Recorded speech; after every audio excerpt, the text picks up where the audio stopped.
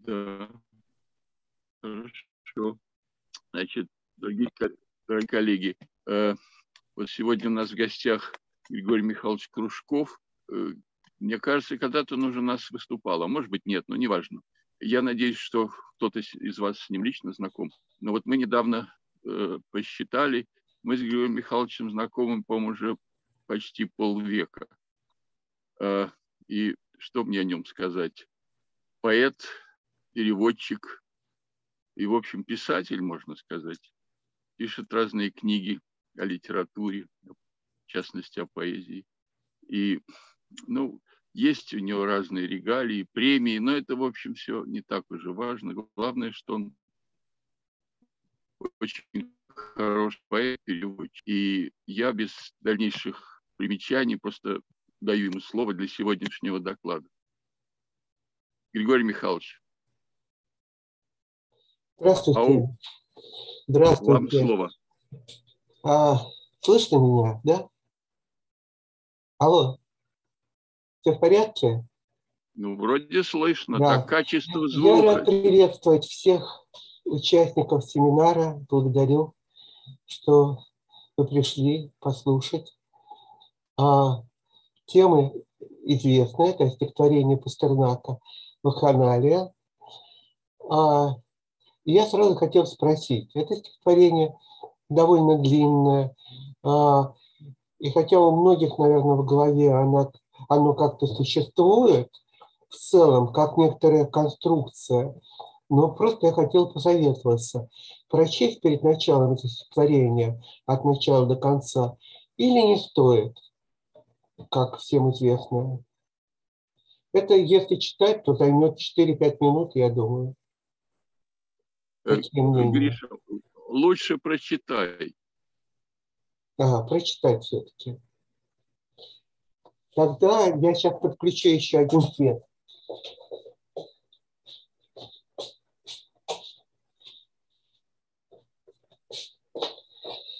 А, наизусть я к сожалению, не помню. А, попробуем. Информации никакой не обещаю, наоборот, э, так сказать, как факт прочту. Город, зимнее небо, тьма, пролеты ворот. У Бориса и Глеба свет и служба идет. Лбы молящихся ризы и старух, старух шушуны Свечат пламенем снизу, слабо озарены. А на улице в юго все смешало в одно, И пробиться друг другу никому не дано. В завывании бурана потонули тюрьма, Экскаваторы, краны, новостройки, дома клочья репертуара на афишном столбе и деревья бульвара в серебристой резьбе. И великой эпохи след на каждом шагу, в толчее, в суматохе, в метках шин на снегу, в ломке взглядов, симптомах вековых перемен наших добрых знакомых, в тучах мачт и антенн, на фасадах, в костюмах, в простоте без прикрас, в разговорах и думах умиляющих нас. И в значении двояком, в жизни бедной на взгляд, но великой под знаком понесенных утрат. Дима, Зисы и Татар, сдвинув полосы фар, подъезжают к театру и слепят тротуар, затерявшись метели, перекупщики мест осаждают без цели театральный подъезд. Все идут вереницей, как сквозь строй альбард, торопясь протесниться. На Марию Стюарт молодежь по записке добывает билет, и великой артистке шлет горячий привет. До деревнища драка, а уж средь темноты вырастают из мрака декорации холсты, словно выбежав с танцев и покинув их круг, королева шотландцев появляется вдруг, все в них жизнь, все свобода, и в груди колотье, и тюремные своды не сломили ее.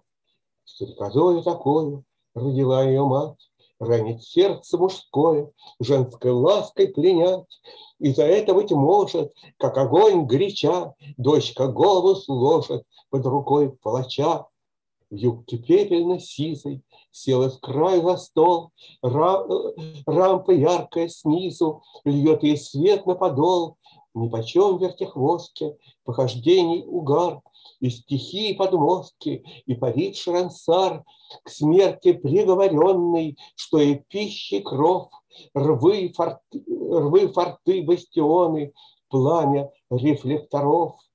Но конец героини до скончания времен Будет славой отныне и молвой окружен. Тоже бешенство риска, та же радость и боль Слили роли артистку и артистскую роль, Словно буйство премьерши через столько веков Помогает умерший убегать, убежать из оков. Сколько надо отваги, чтобы играть на века, Как играют овраги, как играет река, Как играют алмазы, как играет вино, как играть без отказа, иногда суждено, как играл из подростку на народе простом, в белом платье в полоску и с косой жгутом. И опять мы в метели, а она все метет, и в церковном пределе свет и служба идет, где-то зимнее небо, проходные дворы и окно ширпотреба под горой мишуры. Где-то пир, где-то пьянка, именинный куте, кутеж, Мехом вверх наизнанку свален ворох одежь. Двери с лестницы в сени, смех и мнение обмен, Три корзины сирени, ледяной цикломен. По соседству гостиной, в столовой, Зелень, горы икры, сервировки лиловой, Семга, сельди, сыры, и хрустение салфеток, И приправ острота, и вино всех расцветок, И всех водок сорта. И под стаустый люстра топит в лучах, Плечи, спины и бюсты, и сережки в ушах, И смертельные картечи, эти линии рта, Этих рук без сердечья, этих губ доброта. И на эти-то диво, глядя как маниак, Кто-то пьет молчаливо до рассвета коньяк. Уж над ним в межеумке проливают слезу, На шестнадцатой рюмке ни в одном он глазу, За собою прочих, право зваться немым. Он среди женщин находчив, среди мужчин нелюдим. В третий раз разведенец и дожив до седин, Жизнь своих современниц оправдал один. Дар подруг и товарок он пустил в оборот И вернул им в подарок целый мир свой черед. Но для первой же юбки он порвет провода, повода, И какие поступки совершит он тогда. При гостей танцовщица, помирает в тоски, Он с ней рядом садится, это ведь двойники. Это тоже открыто, может лечь на ура, Королевой без свиты, под удар топора. И свою королеву он на лестничный ход От печей перегрева освежиться ведет. Шел хризантеме, спит на стуже, цвету, Но назад уже время, в духоту, в тесноту, с табаком в чайных чашках, Весь в окурках буфет, Стол в конфетных бумажках. Наступает рассвет, своей балерине, Перетянутый так, Точно стан на пружине, он шнурует башмак. Между ними особый распорядок с утра, И теперь они оба, точно брат и сестра. Перед нею в гостиной не встает он с колен, На дела их картины смотрит строго со стен. Впрочем, что им бесстыжим, жалость, совесть и страх Пред живым чернокнижьем в их горящих руках? в море им по колено, и в безумье своем им дороже вселенной миг короткий вдвоем. Цветы ночные спят, не прошибает их поливка. Нет, цветы ночные утром спят, не прошибает их поливка, хоть выкати на них ушат. В ушах у них два-три обрывка того, что тридцать раз подряд пел телефонный аппарат. так спят святых садовых гряд, плену своих ночных фантазий. Они не помнят безобразия, творившегося час назад. Состав земли не знает грязи, все очищает аромат, который льет без всякой связи, десяток роз в стеклянной вазе. Прошло ночное торжество, забыты шутки и проделки, на кухне вымыты тарелки. Никто не помнит ничего. А, итак, это опыт прочтения этого стихотворения. Названия стихов Пастернака сплошь простые. Я имею в виду стихов последних лет, даже банальные. Весна в лесу, погребы, стога, ветер, дорога, снег идет и так далее. На этом фоне резко выделяется своей неожиданной встречей вакханалия. Название столь необычное, что при первой посмертной публикации в «Новом мире» в 1965 году а, его даже не решились это название дать, по-видимому, чтобы не заразнить гусей по тем временам. А, просто напечатали под звездочками. Толковый словарь Ушакова сообщает три э, значения слова «вакханалия». Первое – в античном мире празднество в честь Вакха, бога вина и веселья. Второе – разгольное пиршество оркия. Пример – попойка превратилась в настоящую орки. Третье – переносное – крайний беспорядок, безудержная своеволие. В скобках газетное. И к этому значению дается пример. В сельсовете до чистки царила полная вахханалия. Что такое была тогда чистка советского аппарата, мы догадываемся. Невольно поежишься от такого примера. А рядовой читатель тех времен, я думаю, знал именно третье значение этого слова – безудержное своеволие. А Дмитрий Быков, который в своей книге о Пастернаке посвятил пять страниц разбору этого стихотворения, он э, сделал вывод, что в нем отразилось сознание беззакония любви поэта к Ольге Ивинской. И то, что Быков называет разгулом счастья на грани трагедии, греховности на грани священодействия. Гриш, извини, что-то звук как-то странно. Может быть, ты попробуй под другим углом как-то говорить? Да нет, я говорю, как обычно я говорю. говорю. Нет, в смысле, вот э, к микрофону как-то иначе повернуться или его иначе повернуть. Что-то как-то странно, плохо звучит, нет? Плохо, да. Сергей, Можно... Сергей Дмитриевич, по-моему, это плохо что-то у вас. Я не знаю, как остальные, вот я слышу прекрасно. А, а ну у вас вот я прекрасно слышу. Нет, ну, нет, ну, проблем, хорошо, проблемы ладно, есть. ничего, ладно. Так, а? Проблемы есть, немножко проблемы есть, глуховато звучит. Слышно плохо, слышно плохо, все время глухо и невнятно. Ну это тембр такой. Я нет, нет, в начале, в начале было хорошо слышно, до того, как пересел. А, а, а, у вас нет с переносного микрофона? Ну, как-то раньше не жаловались, я не первый раз пользуюсь и записывал. По-видимому, просто это может быть связано с моей небольшой простудой. Я начал немножко глуховато говорить как-то. И я постараюсь более четко, может быть, даже звонко говорить. Как сейчас? Ничего? Мне прекрасно. Хорошо. Значит, я повторю что э, Быков, Дмитрий Быков считает, что значит, тут отразилась э, любовь поэта к Ольге и то, что Быков называет разгулом счастья на грани трагедии, разгулом греховности на грани священнодействия.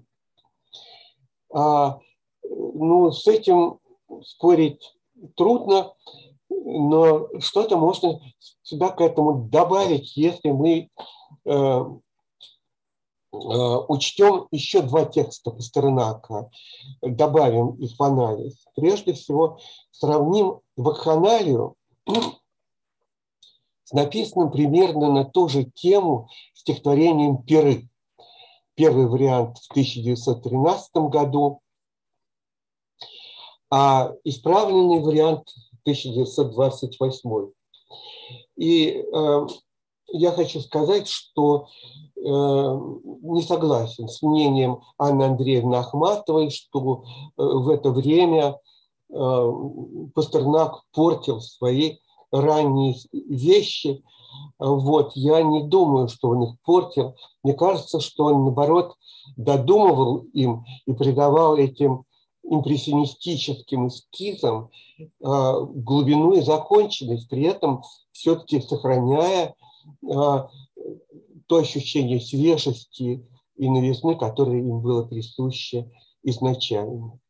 Так что «Пиры» 1928 года – произведение вполне зрелого, 38 лет поэта, и, на мой личный взгляд, одно из лучших стихотворений э, Пастернака его срединного периода между, скажем, 925 и 40 годами. Но это, конечно, дело вкуса. А, существенно другое. Верность поэта некоторым важным для него темам и мыслям, постоянное к ним возвращение.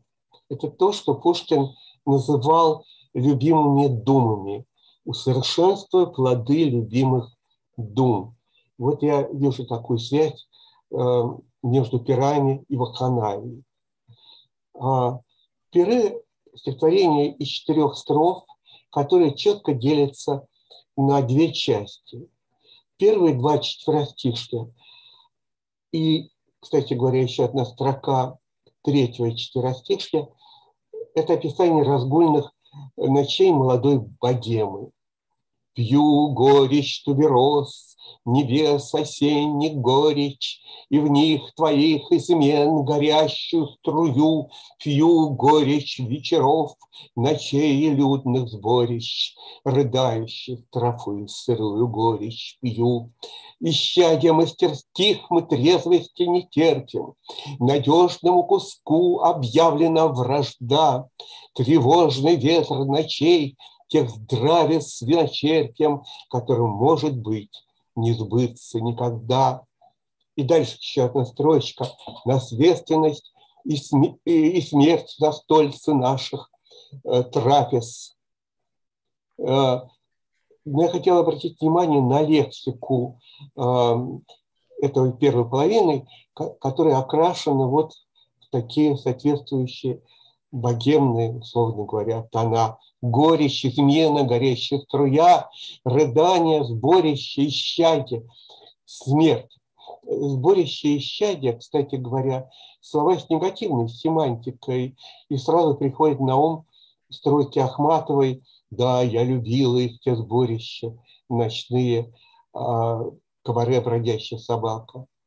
И в ассоциации вспоминается еще другое ее стихотворение «Все мы бражники, здесь блудницы», и с этой концовкой «А та, что сегодня танцует, непременно будет в аду». А, можно, конечно, воспринимать эту а, неодобрительную лексику как чужое слово. Можно предположить, что это ощущение греховности, осознаваемое участниками этих богемных вечеринок, лишь добавляла остроты ощущений. Но я думаю, что и для Пастернака, и для Ахматовой этот конфликт имел более глубокий смысл, чем просто противостояние артиста обывателю с его вкусой морали. А, итак, э, значит, девятая строка, первая строка предпоследнего четверостишья, это еще, это еще вот эти сборища, застолья, но уже следующее открывается наступившим ранним утром. Наследственность и смерть застольцы наших трапез, а утренней зарей верхи дерев горят, в сухарнице, в сухарнице как мышь, копая сонаты, и Золушка спеша меняет свой наряд. Новый день, и все начинается с чистого листа. В голове, как мышонок, завозился стих. Ночное родение вакху сменяется молитвой господину нашему Аполлону. Угар ночи уступает рабочей аскезе. Утро. Муза поэта меняет бальный наряд на простое платье. Золушки, роковая дева, поившая его горечью измен, превращается в трудолюбивую и скромную хозяйку, наводящую порядок. Полы подметены, на скатерти не крошки, как детский поцелуй, спокойно дышит стих, и Золушка бежит в одни удачные дрожках, а последний грош и на своих двоих. Все, все это очень архетипично, очень по-пастернаковски. Вот отрывок из доктора Живаго про Лару. Э, кавычки. Сейчас она полжизни отдала бы за то, чтобы оба они не были так хаотически свободны, свободны а вынуждены подчинялись какому угодно строгому, но раз навсегда заведенному порядку, чтобы они ходили на службу, чтобы у них были обязанности, чтобы можно было бы жить честно и разумно. Кавычки закрываются. Нет, не закрывается еще там такая фраза. Она начала день, как обычно, оправила постели, убрала и подняла комнату. Сам Пастернак с юности до последних дней, как, э, до последних лет, как известно, начинал день с того, что убирал и подметал свою комнату. Так он был приручен. Совсем не случайно, что оба стихотворения и перы, и вакханалия кончаются уборкой, наведением порядка. Полы подметены на скатерти, не крошки, это перы, на кухне вымыты тарелки, никто не помнит ничего этого канале, последние строки. Но наряду с этим сходством композиции «Греховная ночь», «Чистое утро» есть такое композиционное различие. В Аханале не двухчастное стихотворение, как перы, а трехчастное. трехчастное. Значит, ночному распулу тут противостоят не одна, а две сцены строгой чистоты в начале и в конце. В конце, в последнем отрывке, это утренняя уборка, уничтожающая грязь, и цветы, которых грязь не может коснуться. А в начале, в прологе, метель и молитва.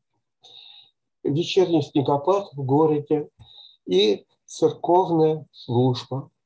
Город, зимнее небо, тьма, пролеты ворот – у Бориса Глеба. Свет и служба идет. К смыслу такой закольцованной композиции мы еще вернемся.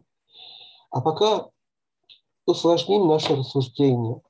Добавим двум этим сочинениям Пастернака еще третье, в котором тоже речь идет о пирах богемы, и которые служат как бы мостиком между романтическими пирами и более сложной неоднозначной вакханалии. Сочинение называется «Письма из Тулы» и датируется апрелем 18 года. В нем рассказывается, как автор, проводив любимую на поезде в Тулу и обнаружив, что обратный поезд в Москву будет лишь в 3 часа ночи, убивает время на вокзале случайной, э, и случайно становится свидетелем э, пирушки киношников, снимавших в этих местах исторический фильм. Открывается цитата. Тем временем, как пишу тебе, все продолжается своим чередом в другом конце стола. Они гениальничают, декламируют, бросаются друг в дружку фразами, театрально швыряют салфетки об стол, утерев бритые рты. Мне тошно. Это выставка идеалов века, чат, который они поднимают, это мой общий наш чат. Это угар невежественности и самого неблагополучного нахальства. Это я сам. Вот их слова: гений, поэт, скука, стихи, бездарность, мещанство, трагедия. Как страшно видеть твое на посторонних. Кавычки закрываются. Случайных богемных соседях поэт видит как бы шарш на самого себя. И его совесть бунтует, его буквально заливает пламя стыда. Цитата. «О, гори, бешеный нефтяной язык, озаривший полночи! Завелся такой пошиб в жизни, от чего не стало на земле положений, где бы мог человек согреть душу огнем стыда. Стыд подмог повсеместно и не горит ложь и путанное беспутство. И тут он вспоминает внезапно, ведь это Тула, ведь это ночь, ночь в Туле, ночь в местах толстовской биографии. Диво ли, что тут начинают плясать магнитные стрелки. Происшествие в природе местности – это случай на территории совести, на ее гравитирующем рудоносном участке – и ему становится тошно от самой этой клички поэт, подразумевающий фанфаронствующего бездельника, топчущегося на заминированной территории духа. Здесь важный для нас ключ. Толстой был всегда мерилом совести для Пастернака и второй отцовской фигурой его жизни – Толстовские мысли об искусстве как внутренний компас всегда присутствовали в сознании Пастернака. Можно ли забыть об этом, читая вакханалию?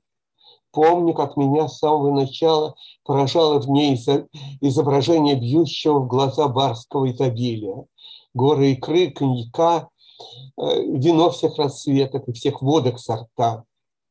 Неужели это описывает тот самый человек, который больше всего на свете ценил скромность и простоту, а смотрел на жизнь обычных людей с их заботами, бедностью, повседневным трудом, э, с чувством близости и родства.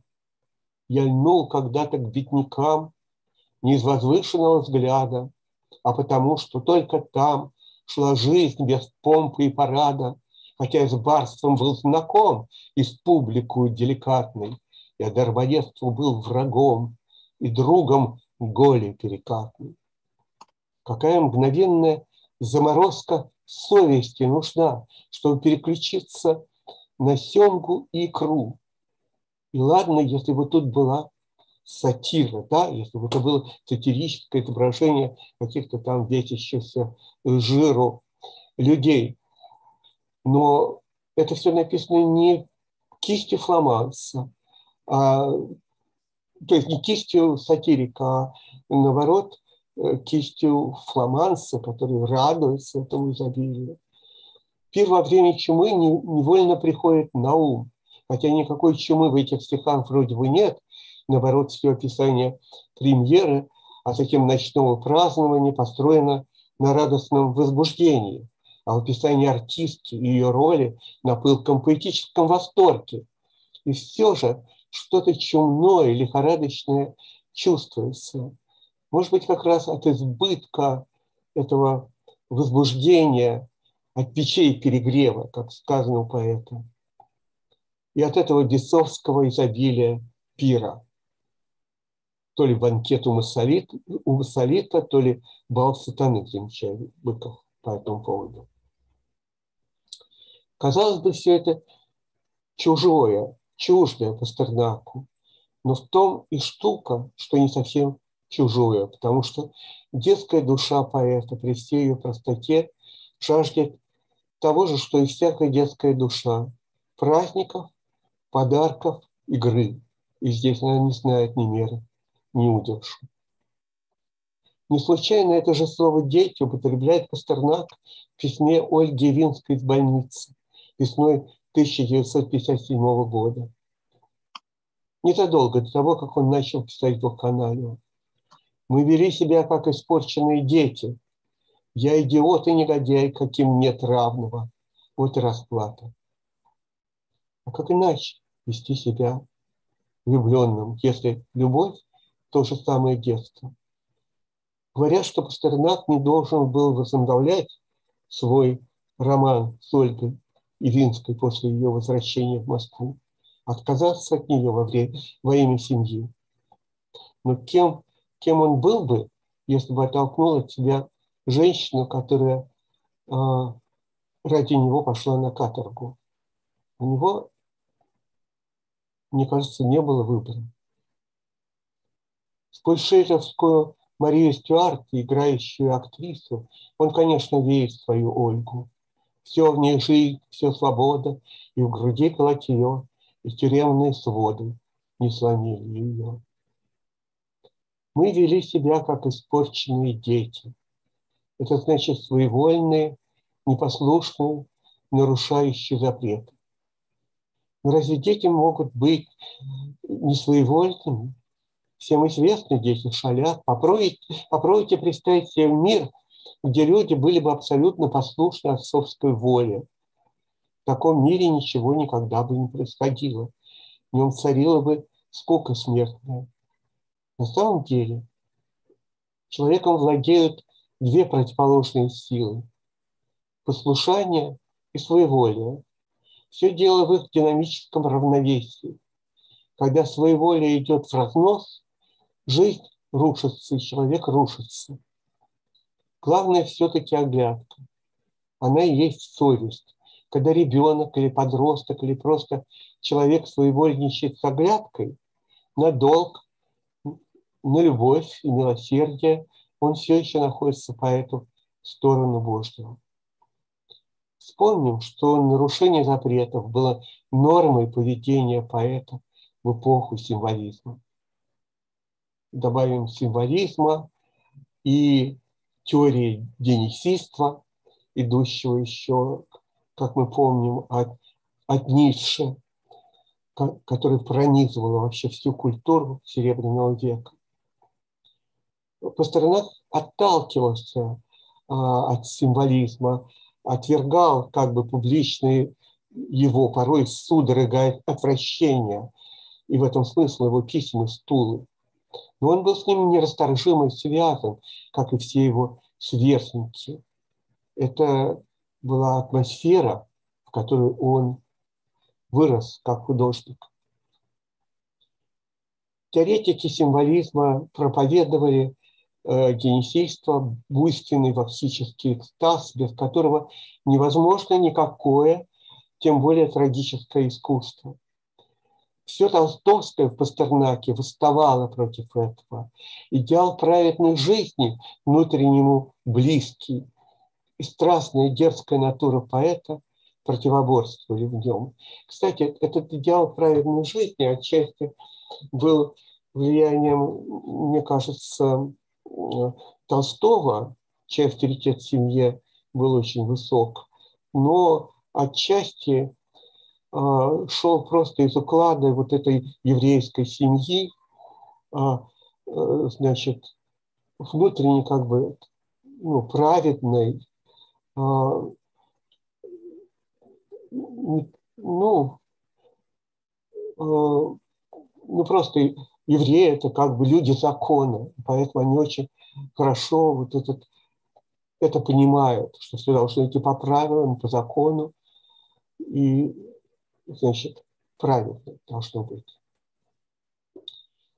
А, так вот, но с другой стороны, он был поэтом.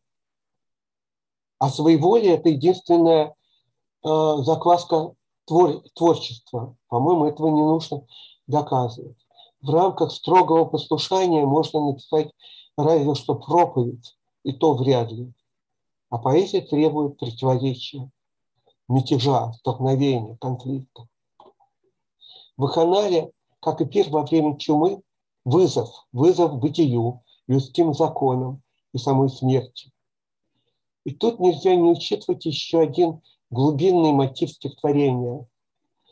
Может быть, я его бы Э, сам бы даже не увидел, если бы мне не подсказал его не подсказала статья Томаса Венсела, который разбирал стихотворение «Пиры». Этот мотив связан с текстом Евангелия, в котором, как пишет Венсел, многочисленные застолья ведут к кульминационному событию новозаветной истории, тайной вечери и всему, что за ней последовало. Это все здесь прикрыто, отодвинуто, но это, безусловно, существовало в сознании поэта и соотносят вакханалию со стихами доктора Живаго. И наши вечера, прощания, пирушки наши, завещания, чтоб тайная струя страдания согрела холод бытия. Посылая это стихотворение исполнительницы, исполнительницы роли Марии Стюарт э, Тарасовой, Пастернак пишет, я это задумал под знаком вакханалии в античном смысле, то есть в виде вольности, разгула того характера, который мог считаться священным и давал начало греческой трагедии, лирике и лучшей и доброй частью ее общей культуры. В любом разгуле есть разрушение, грязь и хаос, после которых нужно подметать пол и мыть посуду.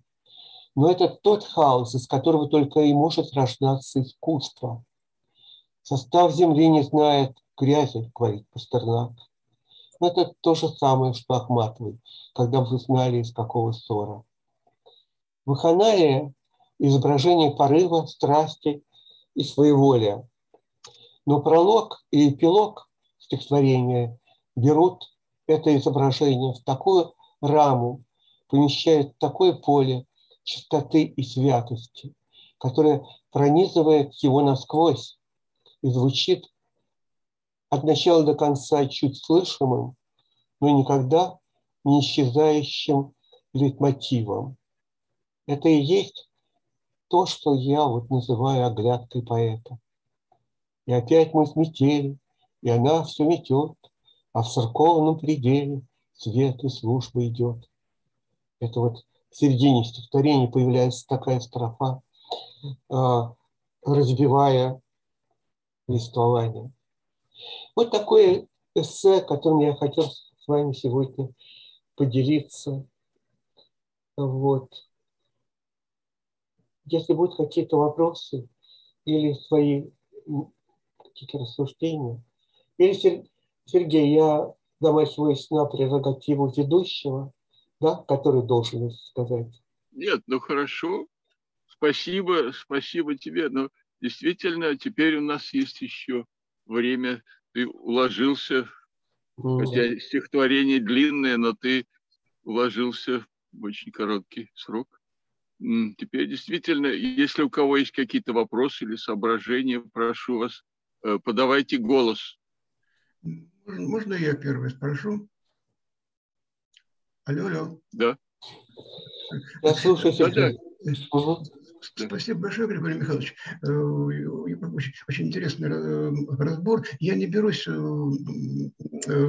обсуждать идейно-символический смысл стихотворения. Мне скорее интригует в нем анахронизм.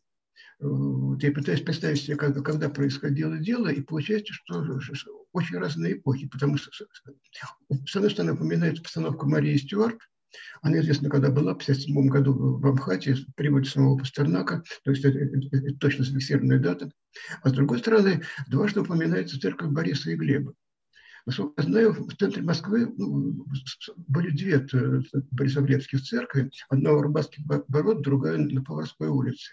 И обе были снесены в 30-х годах. Почему? Я слышал об этом.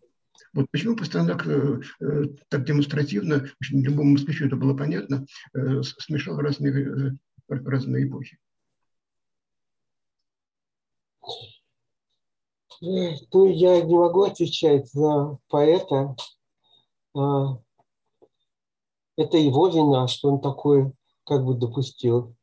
Ну и но я считаю, что это можно делать, потому что все-таки же не отчет какой-то, это обобщение, и стихотворения могут смешиваться разные времена, проходить разные планы.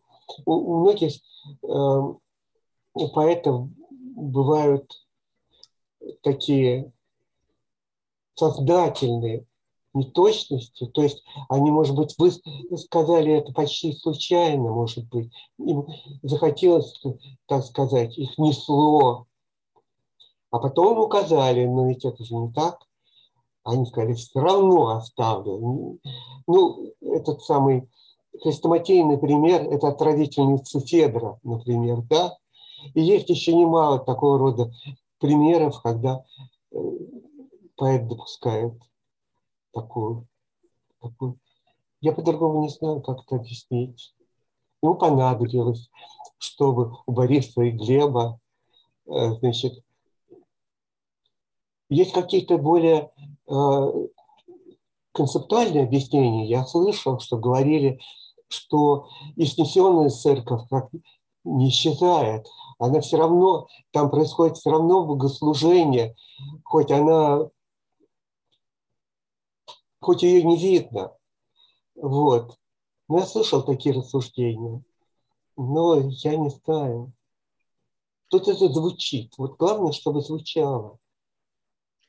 Я спросил этот вопрос потому, что эти эм, стихотворения Пастернака очень небезразличны к историческому, к историческому времени. Там упоминается великая эпоха, э, и, и даже несколько описывается некоторыми, э, некоторыми чертами. Какая это эпоха?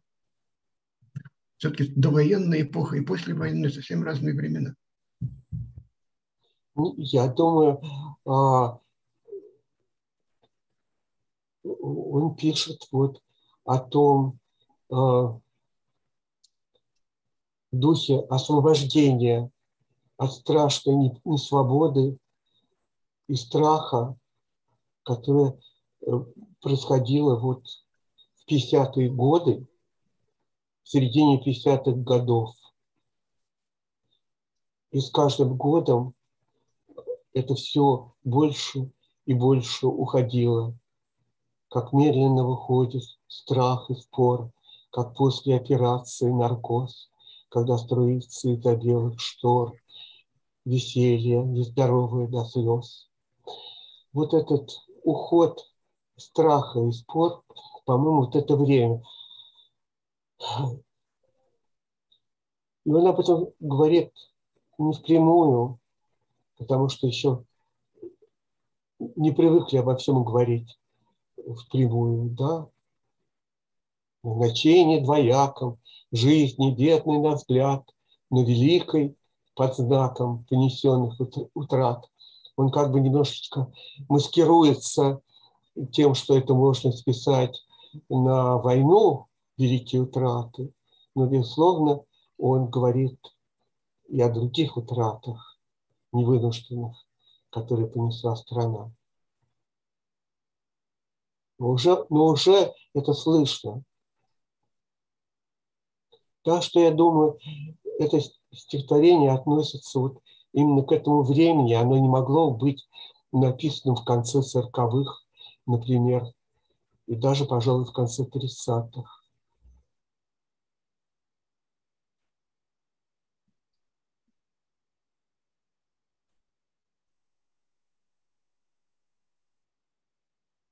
Э, то есть, Гриш, вот вдогонку к этому вопросу, то есть ты считаешь, что вот соединение Бориса и Глеба и э, Борис Стюарт 50-х годов это не умышленное такое, умышленное сопоставление времен, а как бы такой недосмотр или поэтическая вольность. Вот тут так, такой выбор. Вот умышленно или неумышленно? А на самом деле я просто не знаю.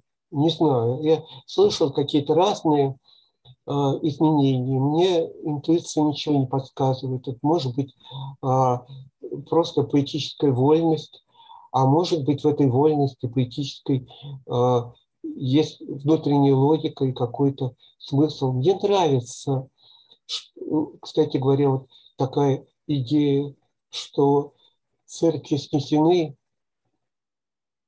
в то же время они есть, и в них происходит служба. А может быть, это приходит другое время сюда, может, он что-то имеет в виду. Я не знаю. Борис Леонидович надо спросить. Можно мне еще тоже, тоже вопрос? Да, да, Вера Кать, да, Вера Кать, пожалуйста. Спасибо огромное. У меня вопрос вот тоже, так сказать, случайность и, и, или нет, про фигуру Марии Стюарт. Насколько это просто потому, что действительно, значит, играла Тарасова Марию Стюарт, или эта фигура э, чем-то еще вот для того сюжета, который вот как раз вы развернули, важна.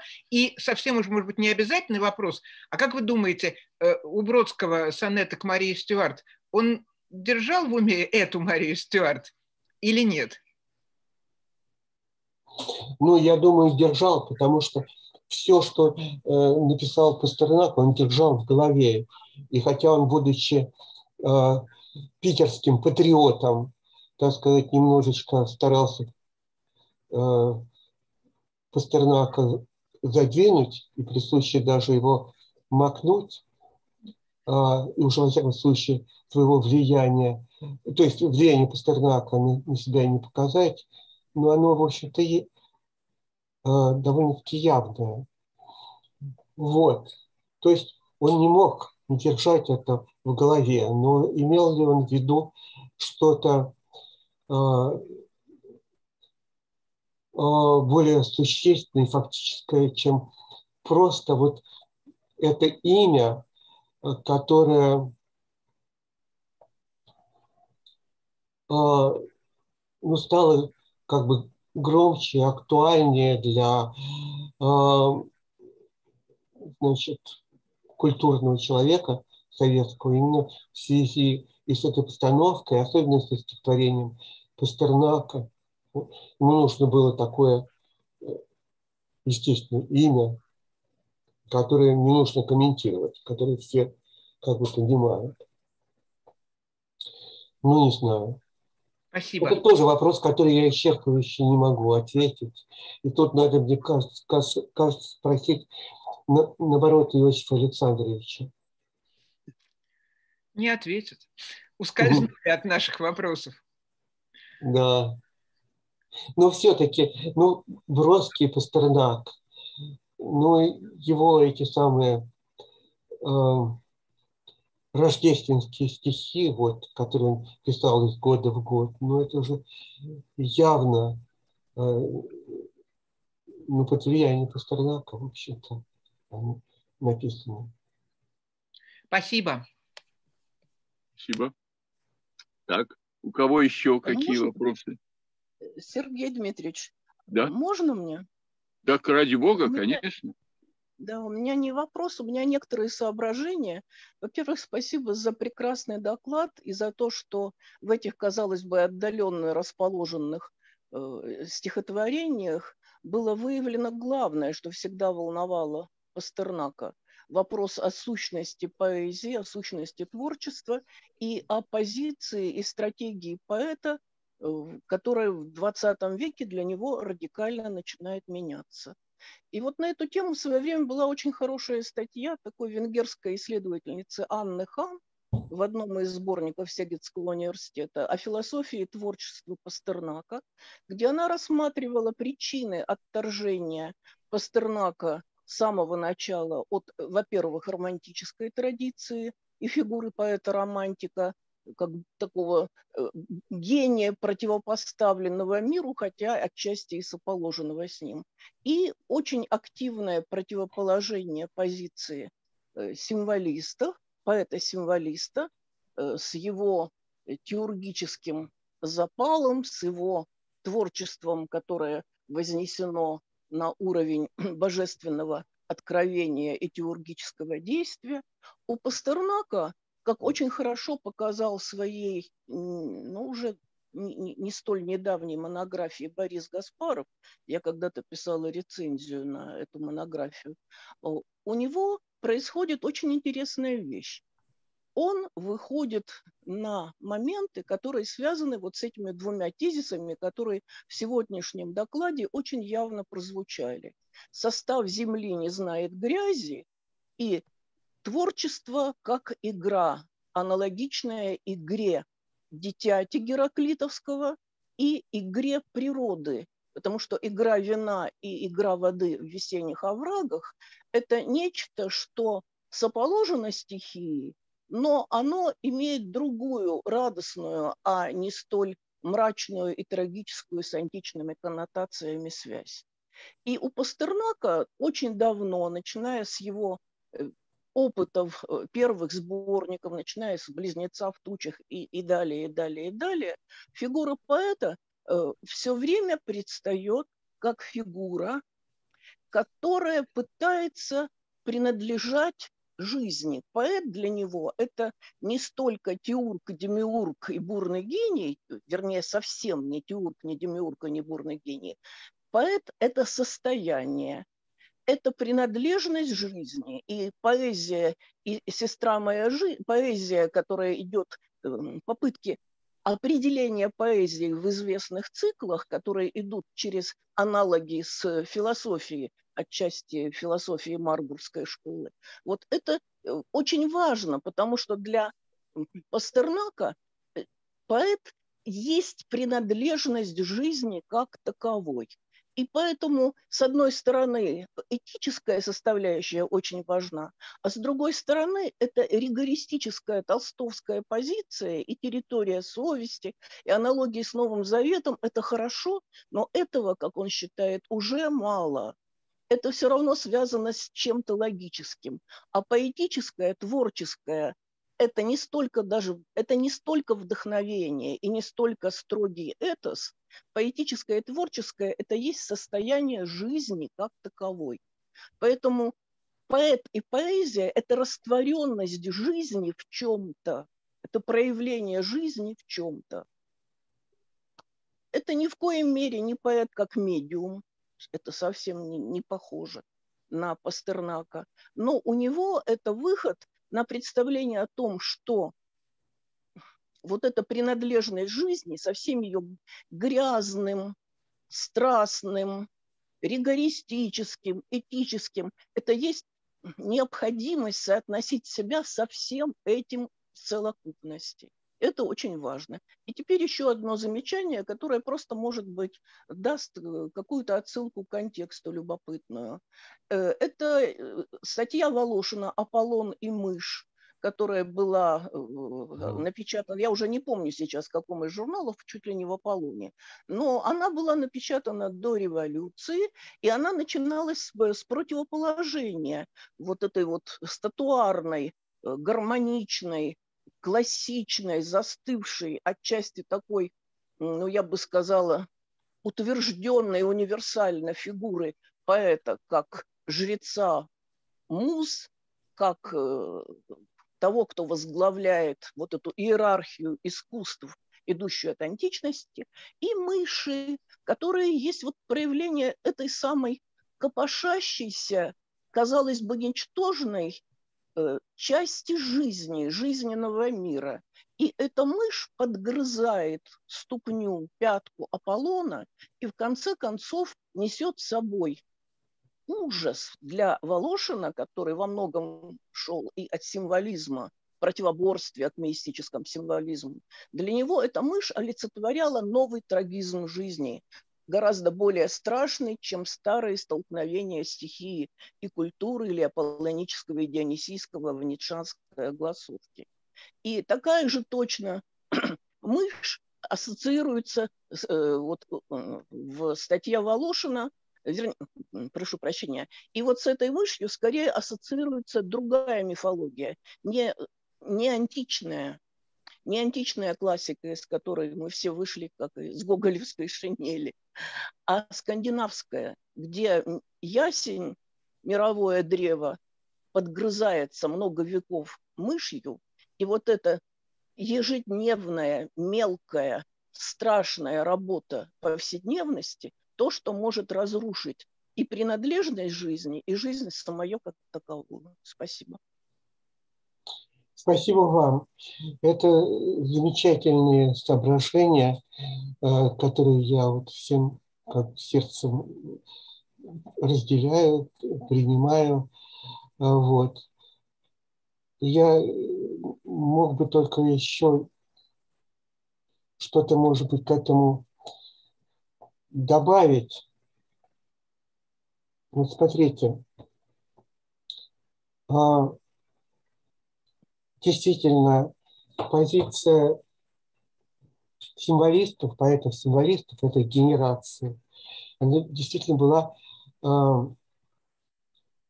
значит, а, такая позиция гигантов по сравнению к этой э, жизненной мелочи, которая там копошится у их ног, у их фрауновых ног. Они действительно чувствовали себя тюргами и так далее.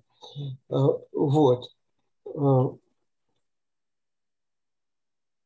особенно, конечно, у Бальмонта, Брюсова это чувствовалось, и у младших символистов, э, таких как Вячеслав Иванов тоже.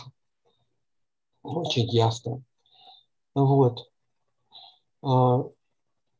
Но вот следующая генерация поэтов, которых вот я условно называю вместе с другими постсимволистской э, генерацией, вот то, что я вижу главное и общее, то, что их объединяет, вопреки различию разных э, значит, кличек, которым они например, акмеисты, но ведь Пастернак не, акме, не акмеист, Волошин тоже не акмеист.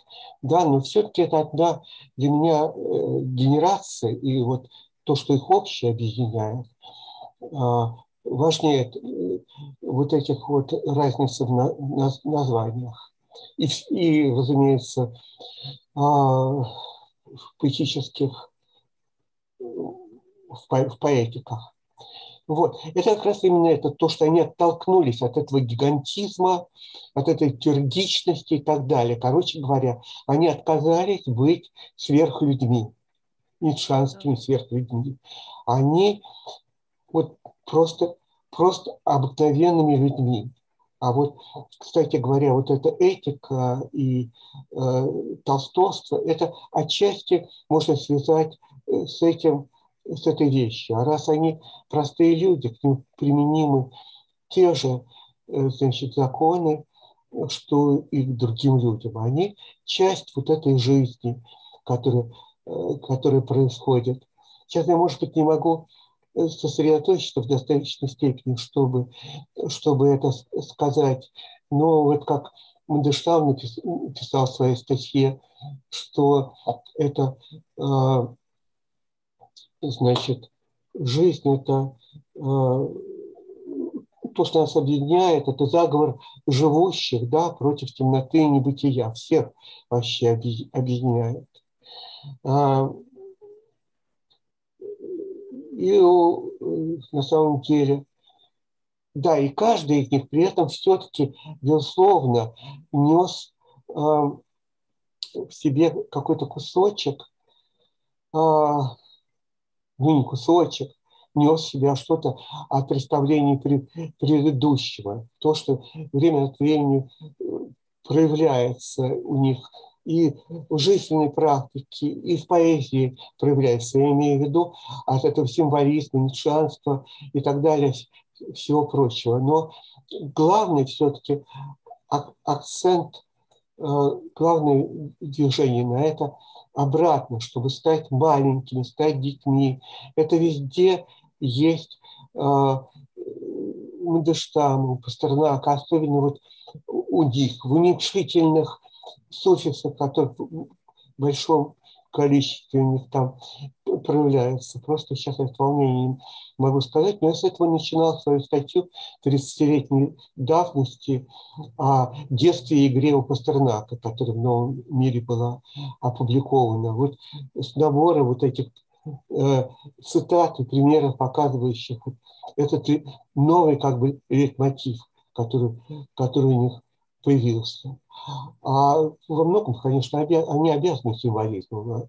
И Мандельштам это, так сказать, открыто признавал, а то, что они вышли из зоны символизма, то, что а, значит, символисты а, привили им европейскую культуру, просто ощущение части европейской культуры. И поэтому какие бы они не были уже принадлежащие просто жизни, но уже от этого они не могли уйти. И от этого инстинкта, символистского инстинкта, свои идеи все время подкреплять какими-то э, крупными такими символами, какими-то ссылками на мифологии всякие европейские, на э, архетипы, на мотивы. И вот отсюда, вот, например, берется э, это самое скандинавская мышь, которая подгрызает корни дерева и, и дорогие.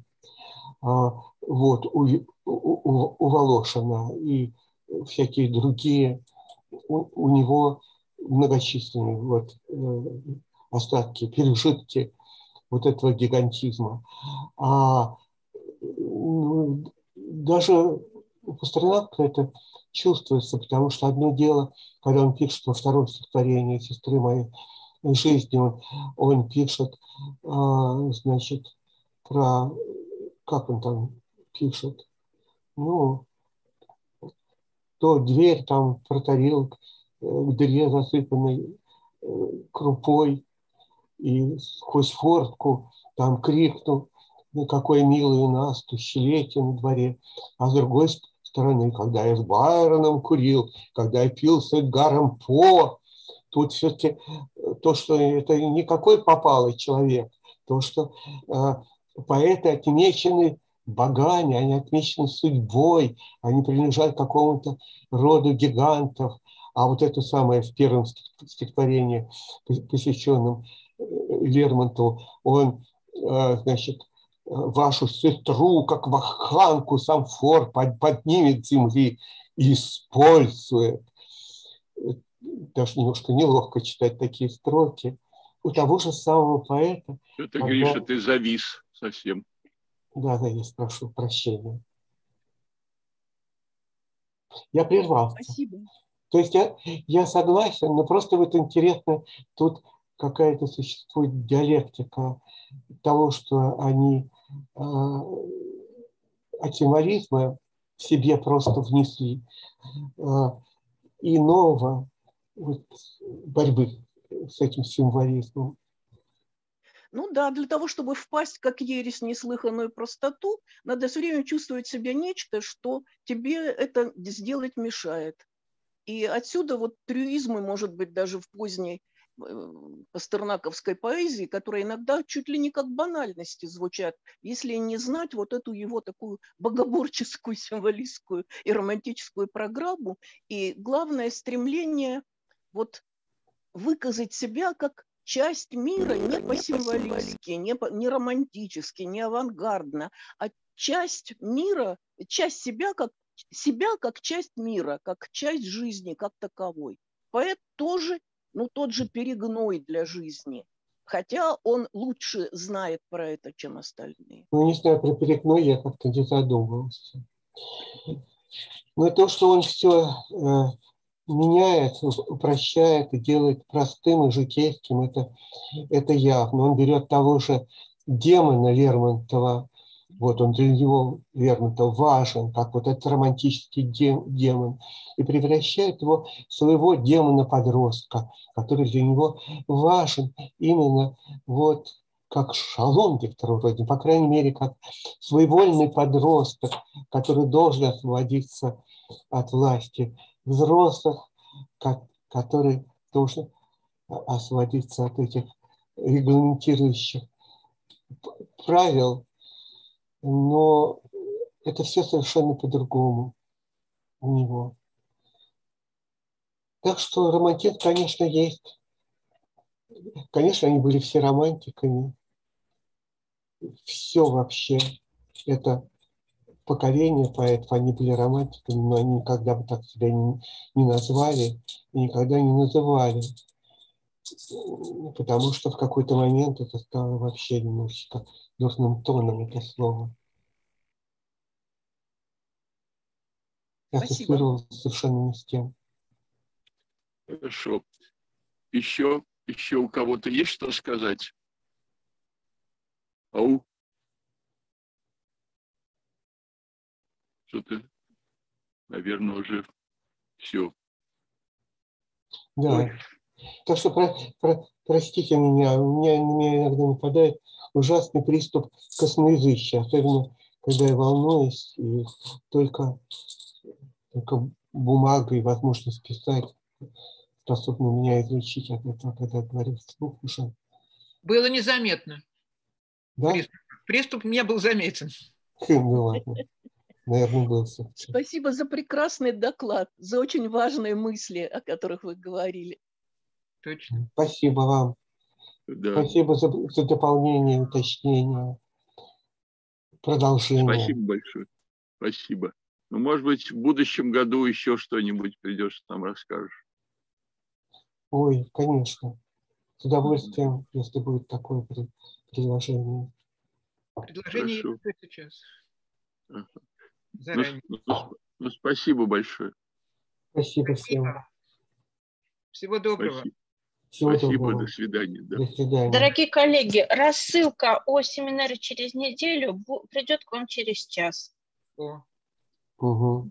ура, будем До ждать. свидания. Спасибо. Всего Спасибо. До доброго. свидания. Всего доброго. До свидания, Лен. До свидания.